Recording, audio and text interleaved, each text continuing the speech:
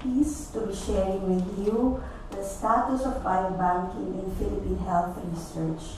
As a backgrounder, I am a member of the UP Manila Research Ethics Board. So um, we have access to data on uh, protocols that have biobanking components.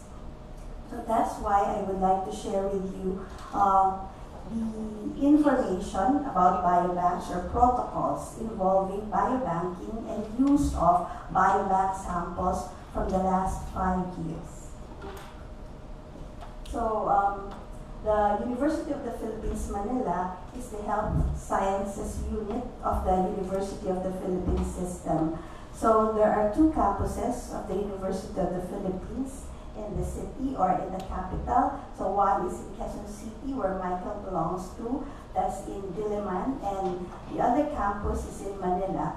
So the UP Manila campus houses the Philippine General Hospital. It's one of the largest tertiary hospitals in the country. And Michael has already mentioned that the Philippine General Hospital has just recently established its uh, biobank so uh, the College of Medicine, or the only College of Medicine of the University of the Philippines system, is also found in the University of the Philippines, Manila. We also have colleges uh, on public health, allied medical professions, nursing. So uh, you can see that in UP Manila, the researches would mainly be biomedical or researches involving, med, uh, involving human participants.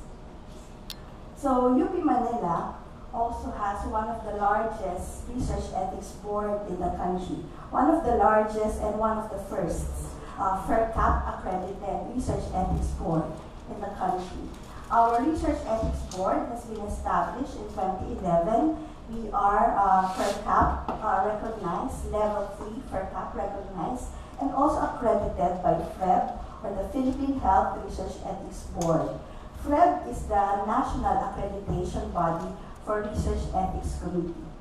So the UPM REB reviews around 500 new protocols every year. So that's only the new protocols that we review every year, around 500.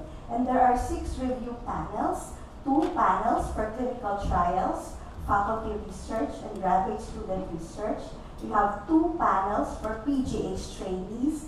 These would include the residents and the fellows and other employees of the Philippine General Hospital who would have health research. And we also have two review panels for undergraduate research.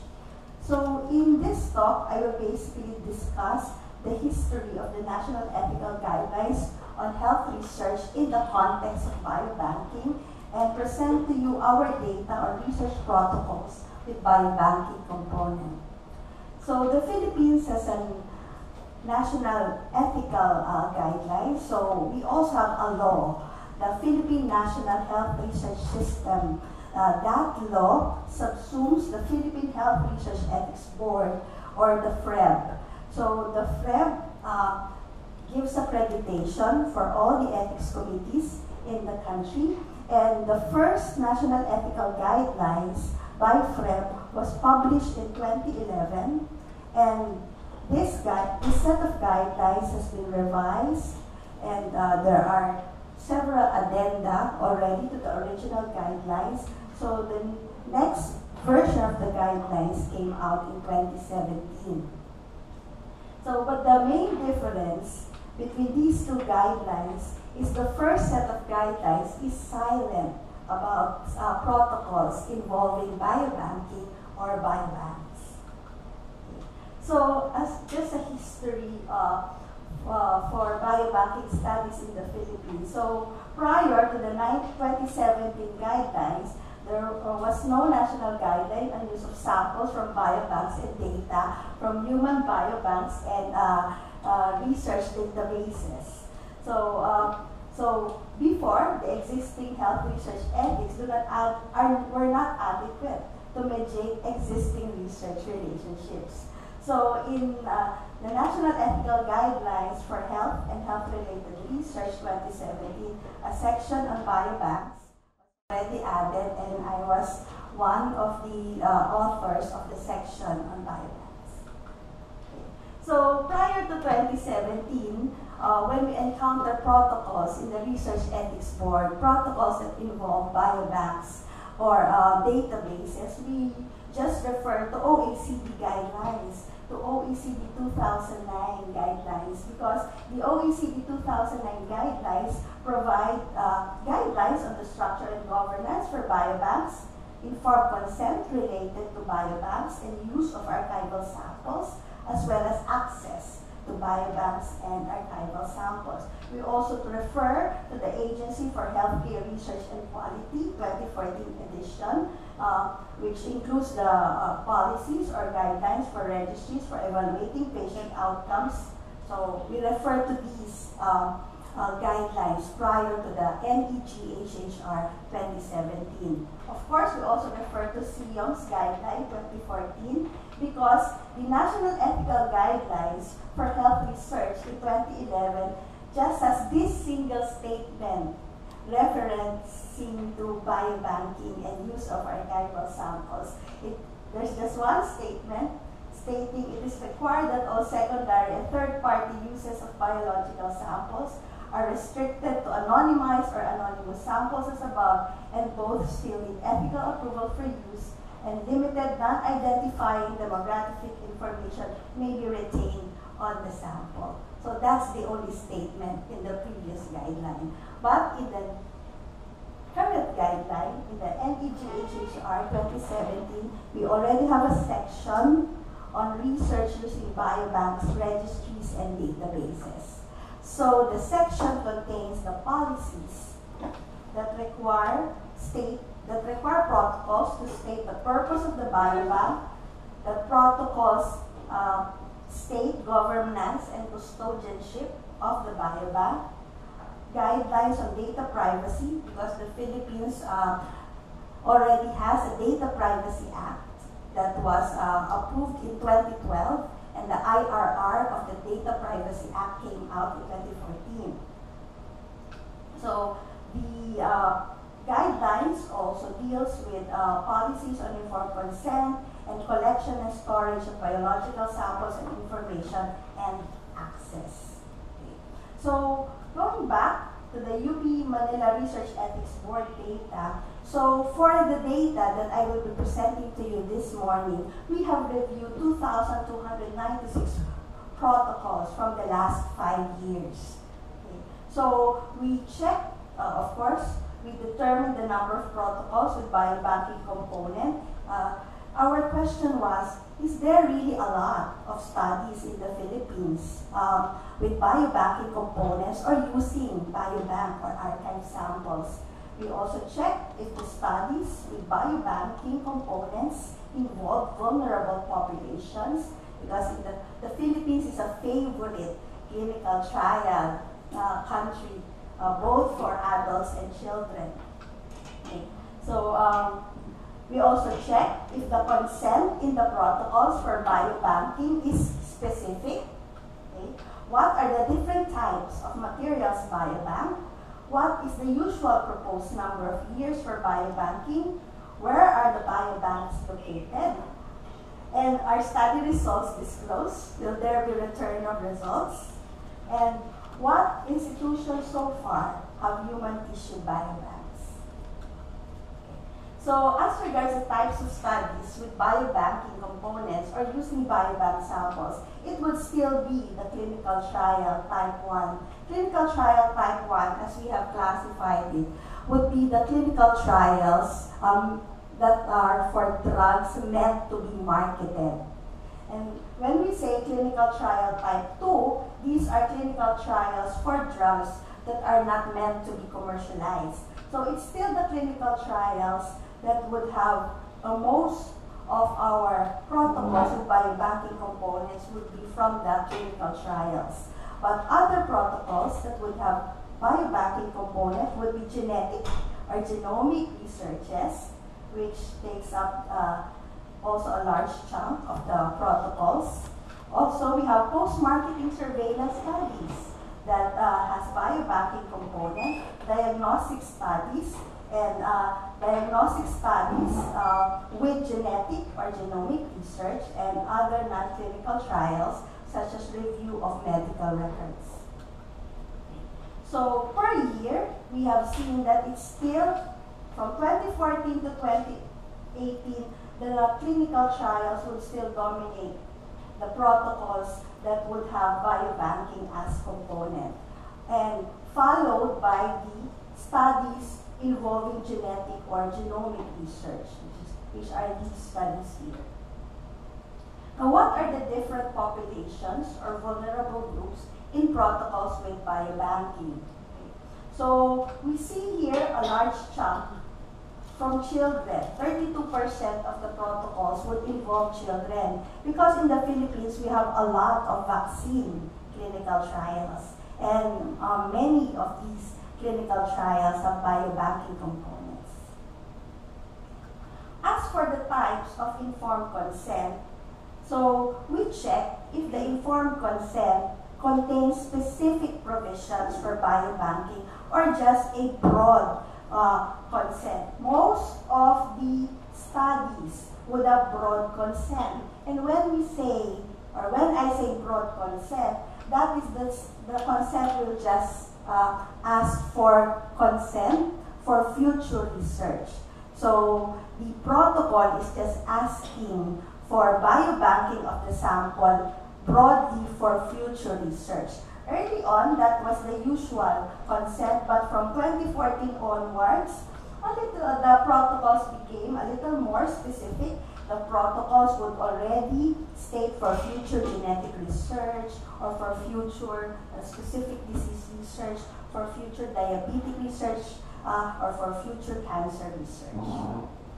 As regards the types of tissues banked, it will still be whole blood that will uh, that is mostly banked in the Philippines, followed by DNA extracted from blood. Then we also have here uh, nasopharyngeal swabs.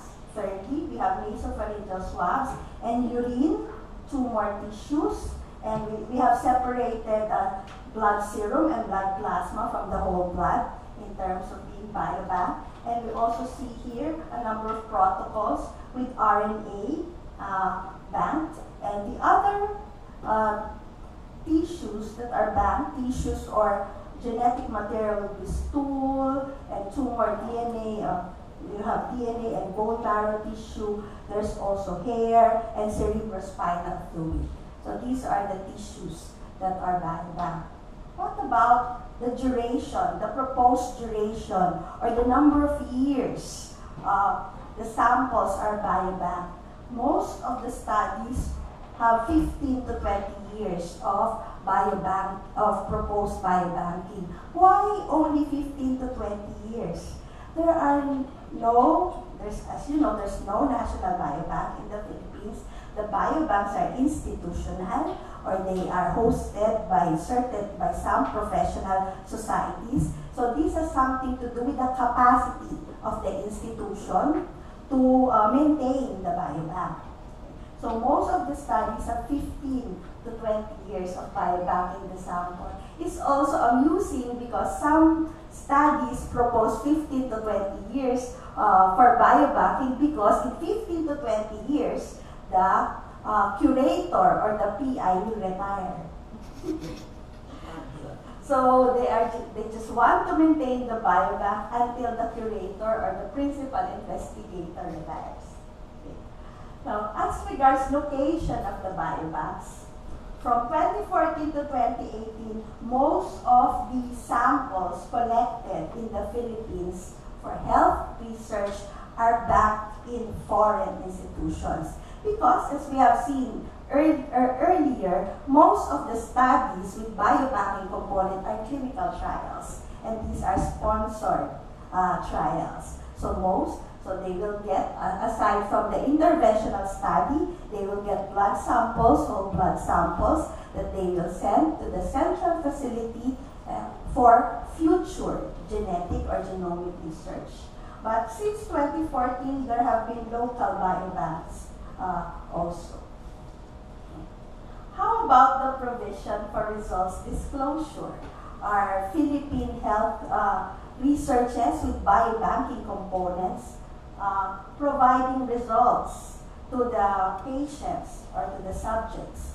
For clinical, uh, so here, no is red, yes is blue. So for clinical trials, type 1, these are uh, usual big drug trials. Uh, return of results, uh, the return of results is not provided. So in the consent, it is uh, stated that uh, whatever happens to the sample that we get from you, you will not be notified. But in health uh, research ethics, as you know, if the individual gives consent to that uh, statement, then uh, that's already uh, valid and that will be acceptable already. So for non-clinical trials, uh, uh, there will, for non-clinical trials such as genetic or genomic research, uh, if they are more um, aware of the value of returning the results or providing the results, because many genetic or genomic research in the Philippines provide uh, genetic counseling. They provide genetic counseling. I'm very proud of that, that in the Philippines, most of the genetic or genomic researches involving human participants provide genetic counseling as benefit for the participants. So that gives them a chance to explain the result or, or if there are incidental findings, that is the, the chance the patients would have. But um, for clinical trial type 2, it's almost the same. Some would provide results, some do not. For post-marketing surveillance, they do not provide results. These are post-marketing surveillance of vaccine studies. So after the vaccine is commercialized and it is already, if the vaccine is already marketed in the Philippines, there will be post-marketing surveillance studies and they will still get blood or other body fluids from the population to monitor uh, biomarkers. So in summary, okay, uh, there is just a very small proportion of new health research protocols that have biobanking component through the years. So that this uh, tells us that uh, today there is really, perhaps there is really no need for a national biobank uh, for the Philippines. So because it's very small, less than 5%. And most of the protocols are clinical trials, followed by genetic or genomic researches, the samples obtained are from non-vulnerable, non-vulnerable populations, so mainly adults, but there are also protocols that would uh, involve children. The consent for biobanking in most of the studies is broad, just for future research. Blood, or rather whole blood, is the most common tissue bank. The storage is 15 to 20 years, and the biobank location is mostly in foreign institutions. Study results disclosure is unusual for most of the studies except for the genetic or the genomic studies. So, so far, the issues or the ethical issues that have been associated with protocols involving biobanking is the use of the samples or the data from biobanks, registries, and databases prior to the National Ethical Guidelines of 2011 we are still receiving protocols in the ethics committee for use of biobank samples that have no consent, uh, but have been anonymized already. So these were samples, uh, some were collected in 2000, 2004, 2005, and we didn't have uh, national ethical guidelines yet by then. But these are all anonymized samples uh, whole blood or serum that would just have codes. So the ethics committee still has to deal with these types of protocols. Another issue is the secondary or reuse of the sample or the data obtained with uh, broad consent. Because, uh, as I said earlier, most of the biobanks are institutional. And so, for example, if UP Manila has a biobank at the College of Public Health and another investigator from another college wants to uh, have access to the, to the samples of the College of Public Health, then we have to check the consent uh, obtained for biobanking the samples at the College of Public Health. Can, it, can other parties have access to these samples? Or are these samples open for access to other parties or to other researchers in the Philippines? Uh, vulnerability is another issue because as I've said, there are also post-marketing surveillance for uh, uh, vaccine trials. Disclosure of study results has been well explained by uh, the first speaker this morning, and custodianship and governance.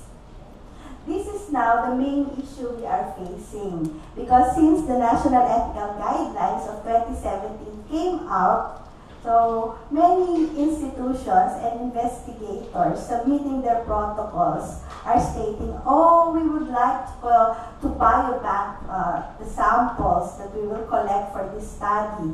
And so, if they say that, the ethics committee will ask, what is now the custodianship and governance structure of your uh, institution? Because you cannot, as we have learned, you cannot just biobank samples. Tapos the governance structure should be in place first before you start uh, biobanking samples. And the duration of storage and the access to the biobank are still issues that we contend with uh, in terms of health research protocols.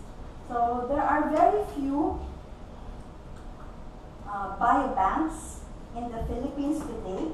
Uh, I think one of the uh, bigger biobanks would be the uh, that of the Newborn Screening Reference Center, since the newborn screening uh, also is a law in the Philippines, so they have a biobank, uh, a blood biobank.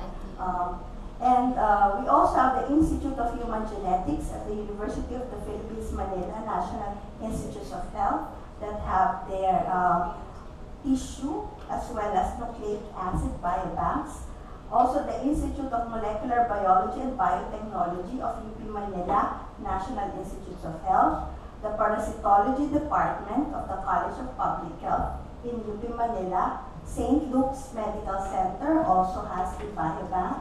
The Oncology Society of the Philippines also has a biobank. And as Dr. Velarde mentioned earlier, the Philippine General Hospital biobank has just been established.